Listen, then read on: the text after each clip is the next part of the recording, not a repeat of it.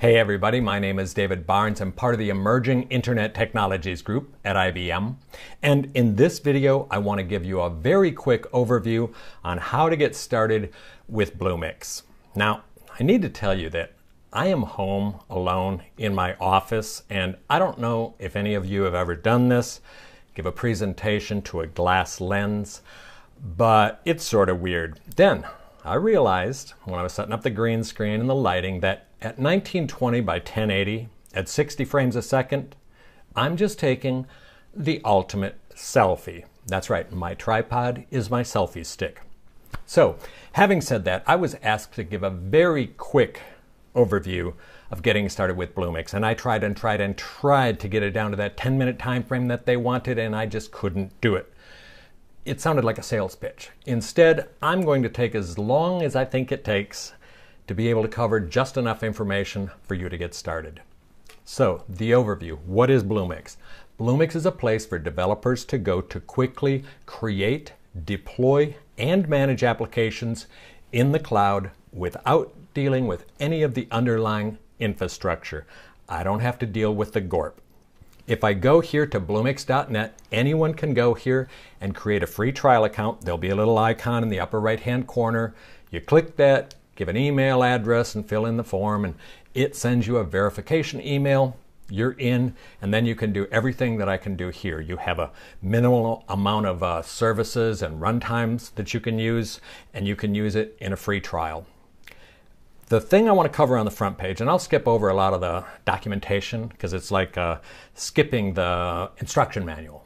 But on the front page, although this is informational, it's important to point out Bluemix is built on Cloud Foundry. Cloud Foundry is an open source cloud platform. The approach to building Cloud Foundry apps is generally uh, choose the runtime that you want to use, that's what I'll do, and then choose the services that you want.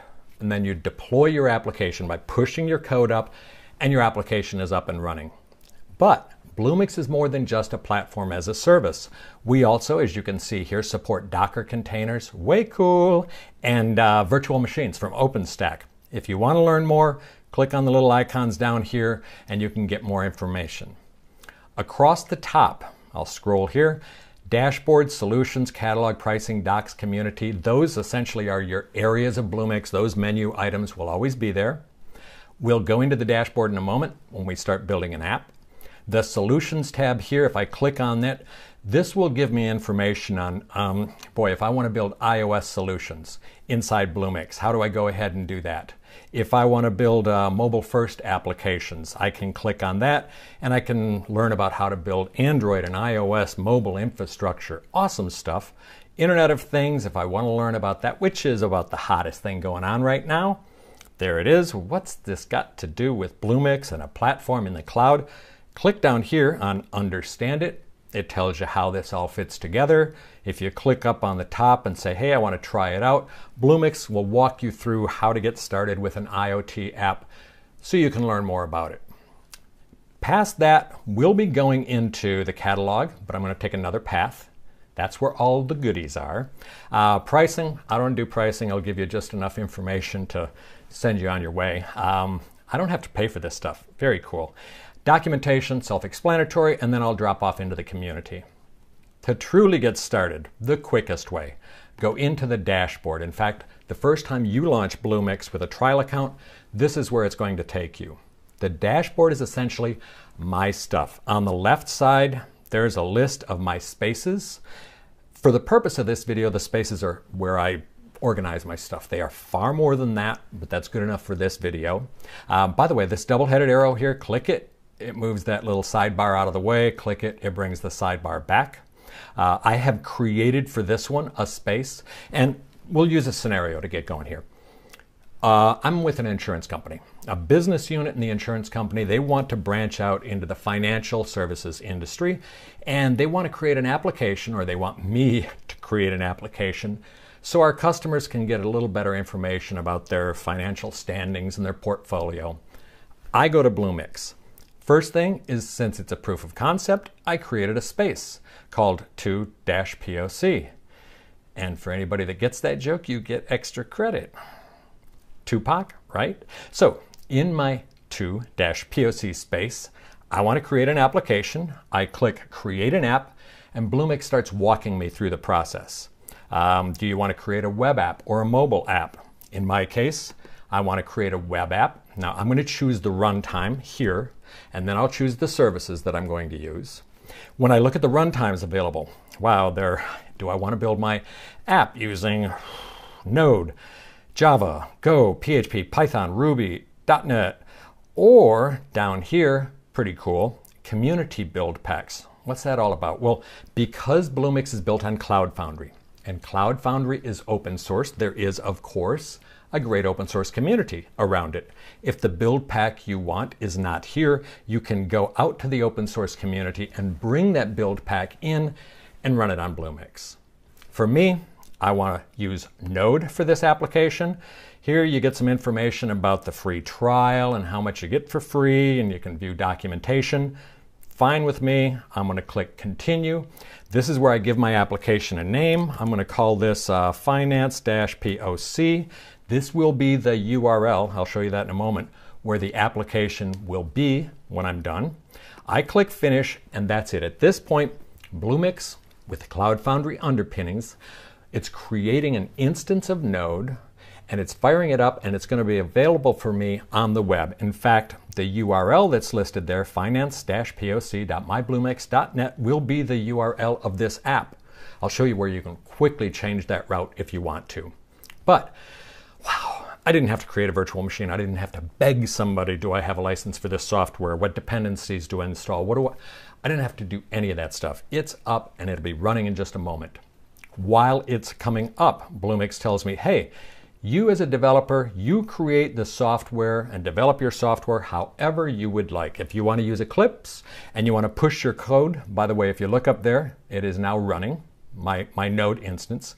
If you want to push your code directly from Eclipse, drag this, drop it down on the Eclipse toolbar. It installs the code necessary to push your code right out of your workspace. If I scroll down here, if you want to use the command line, and I highly recommend you do because it's fun and it is the most uh, efficient productivity tool for developers ever. Go down here, click on, I want to download the Cloud Foundry command line interface. It's uh, about 5 meg. When you do, follow these instructions, and in about ooh, four or five minutes, you're on the command line and you're logged in to Bluemix. You can add your services and runtimes and delete them and control your apps. Lots of cool stuff from there. I'll scroll back down here, and the last thing is Git integration. Bluemix and the entire flow allows me to integrate with a Git repository. I can push my code there, I can pull my code from there, and we'll actually do that in just a moment. I'm going to go back over to the overview on the left side for this application, and there it is. There's that instance of Node. It's up and running, and there's the URL for it. And if I went there right now, it'll say, Great, you've got Node running, but that's all. I need to do something with it. Well, I need a database for this application, someplace to put the customer information. So I'm going to click down here and say I want to add a service. This takes me back into the catalog. You can see I've got the catalog tab selected there. But now I get the real goodies. These are services that I can use from my application. Do I want to use Watson services? I'll scroll down here. Do I want to use some mobile services? Do I want to use DevOps services? I wish I could go into these and show them all to you. It's incredible the amount of cool stuff out here. Notice that some of these are IBM services. Some of these are third party services, the ones in green there. You, as a developer, use them the same way. And in fact, some of these you'll see are beta services or, or lab services, really early experimental services. For me, I'm going to use this filter bar on the left side. Once again, you can get rid of that if you want with a double headed arrow. I'm going to go down and I want a database. So I click on Data Management. There's a Cloudant database. That's what I want to use. I click on it. Bluemix says, hey, do you want to add this to the space you're working on, the application you're working on, and what name do you want? Well, you know, it gives me a default name. I just want to call this Cloudant POC. I click create, and that's it. Now, Bluemix is creating an instance of that database. When it gets up and running, it's going to ask me, do I want to restage my application so that it can take this? Um, there it is. I'm going to click restage. Cloud Foundry needs to restage an application to get that service available to it. And now it's going to be available for me. A couple of tips along the way. Scroll down. If you click here on credentials, that will give you the secret information to get to that. Uh, URL and secret keywords and all of that stuff to get to use that database. It'll be the same when I add another service. There's also the option of going into the environmental variables to get that information. So while that's starting and while the application is staging, this is one service. I want to add another service. So I'm going to go down here in a moment. I'm going to add another service or API. Also notice that I can bind to a service. If it already exists, I can bind to it. Um, I'm going to go ahead and say I want to add another service. Notice the instance is starting right now. And me personally, I like to wait for that to finish before I go and add another service. That's just a tip along the way. So there it is. I'm going to go and say I want to add a service from here. When I do, I go back into the catalog. I say, you know what, I want to add a Watson service here. So I've got this customer system I'm building. I want them to be able to do some self-support ask the system some questions. I want to build a Q&A system. I scroll here and you can see all of these different Watson services available. Concept expansion, Sounds very meta. Um, a couple of my favorites here. I looked at this, I haven't used this, but personality insights. If you are a clever developer and you are dating, you may want to run, build an app around personality insights to find out about the person you may be dating. If the relationship doesn't work out, you find out the person is a total freak, go over here to relationship extraction and I don't know if those are really what it's for. What I want to use right here, I want to use a Watson Q&A service. I click on that. It says once again, do you want to add it to that space, to that application? I say yes. I click create. And once again, Bluemix creates an instance of that. It says, do you want to restage your application? I say yes. And now my node runtime is available and running. My Cloudant database available and running. I'm restaging right now so that I'll have this Watson Q&A service available for me. And now I need to write code. People see all of this pretty and they think, ooh, quick, easy application development for less technical people. No, this is for software developers, people that write software for a living.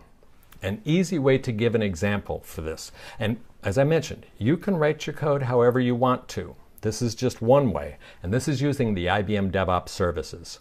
If I click here in the upper right hand corner and say I want to add a Git repository, Bluemix comes back and says, hey, press continue if you want to create the repository and you want to take a, a, starter kit and actually populate that repository with it. I say, sure, sounds good. I click continue. It's creating now that Git repository, the code necessary for the Git repository. When it gets done doing this, of course, it says it's going to take a minute because it's going to our IBM DevOps services and it's going to create this new space for me. It's not a space. It's going to create this new repository. There it is. The repository has been created. Your code is now being added. I click close and there's a URL to my Git repository. There's the URL to my app. And by the way, I told you I'd, i mentioned how you could change your route. Um, up here, if that's not the route to your application that you want, this is the pencil icon that you can click on to do that. If you want more info, uh, my good friend Ryan Baxter wrote a great blog post on how to do this in a couple minutes. Um, if you do Ryan Baxter Bluemix, you will certainly find him out on the web and the post on how to change your route to be whatever you have already.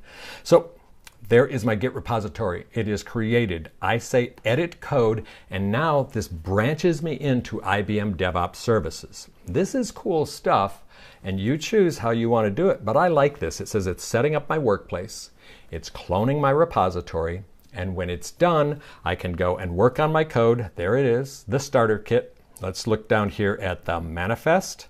And yep, there are the services that I added. There is information about the host name and the path and where it's at. And there's a, uh, boy, there's a lot of good information here. I show this again for, for a reason, and that is if this scares you, if you don't know what it is, if this makes your throat tighten, Bluemix is not for you to use, it's for you to benefit from. It's for the application developer to use. When I'm here, if I want to, I can go in and say, hey, I want to import some of my existing code or export from here. I can go off and do track and plan, build and deploy all of the good stuff. Up here in green, it's small, but you can see that that finance-POC is running. It's in a normal condition. I could write my code here. I could push this icon and it pushes it back over into Bluemix. Instead, what I'm going to do is I'll go back over here, step back into Bluemix. This is the app that I would push into, but I have a version of this, I guess we'll call it a pre-bake, that uh, Let's see, it's down here in the finance uh, space that I created. Javier Pedemonte, Drew Walters, and Karl Ozapov created this application. It's essentially a completed version of what I was doing there. If I scroll down, click on it, there's the application. And by the way, you gotta love that name, Javier Pedemonte. Okay, David Barnes. Pretty boring. Javier Pedemonte. Pretty cool. My wife she likes when I go by David Barnes because she said it sounds exotic like Antonio Banderas, and she seems to have a thing for that. Anyway, that's sort of off topic. That was a fork. Back here, this is the application that they have created. It is complete. There's the URL for the application. If I click that, here it is. I can put in the username. I can log in, check it out, say, yeah, this is what that business group wanted. I check out, yeah, pretty cool. I love it. I'm going to close this down, go back over into my workspace, take it to them, and they're going to say, You rock. I love that. And they're going to give me a huge bonus. Like that's going to happen. And off we go. They say, We want to scale this out now. We're ready to go to all of our customers. I click, I want more instances. I want more memory. I click save and Bluemix goes out and scales the application. And I mean scales too. So we quickly create it. We've created a POC, we love it, and now we continue development and we make that business user happy. And seriously, the amount of time it took here, you still have to write code. I know that takes the majority of the time, but what you didn't have to do here in IBM just a couple years ago, if I tried to do this, I wouldn't even try. Seriously, because innovation was stifled. I had to jump through so many hoops to even get this far. Now, you go try it. By the way, if it doesn't work out for you, over in the right hand side, click and delete the application. Low cost to no cost innovation, but when you're ready to go, you scale it out. Last thing I'm going to mention here as I said, docs, you can learn all about that yourself. Go into the community. I recommend going into the community because this Software developers support software developers. That's what the community is all about. It's one of the greatest things about the web. If I scroll down here, you'll see that there's information here on getting started, uh, which I have to update that video. There are tutorials, there are other videos, but my favorite part, back on the overview, scroll down, this is where you get to the communities, both in Stack Overflow and in DeveloperWorks. There are a community of developers that are extremely active because this is a developer playland. Let's see what we've got here. Somebody asked a question 35 minutes ago and received four answers. Um, by the way, this is a Thursday afternoon. Somebody asked a question two hours ago. They had 45 views, two answers. Scroll down here, and I've been in here times where there were 999 views within an hour. That's how active it is because it's a developer sandbox and playground. Wow. Can you tell I'm out of breath? And they wanted me to do this in 10 minutes. There is so much more to Bluemix. In fact, I didn't save my changes there. If you get this message, it's because I changed my instances and I did not save the changes. I'll reset that, go back over to the main page, and once again say, there is so much more to Bluemix than I can show in a short video. I'll be creating more videos. You can learn about them or see them at youtube.com slash IBM ET info. But the best way to get started is go to Bluemix.net, create a free trial account, check it out yourself, and see just how quickly you can create applications in the cloud.